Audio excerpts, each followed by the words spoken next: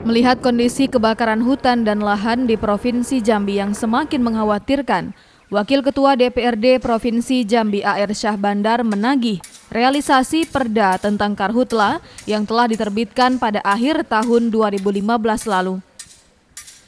Syah Bandar mendesak pemerintah Provinsi Jambi melakukan aksi nyata sesuai dengan amanah yang telah ditetapkan dalam perda.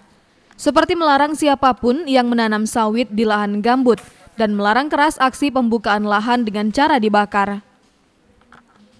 Yang paling penting, Dewan mendesak Pemprov untuk menegakkan sanksi yang tercantum dalam perda, sesuai dengan pelanggaran yang dilakukan, baik perorangan maupun perusahaan.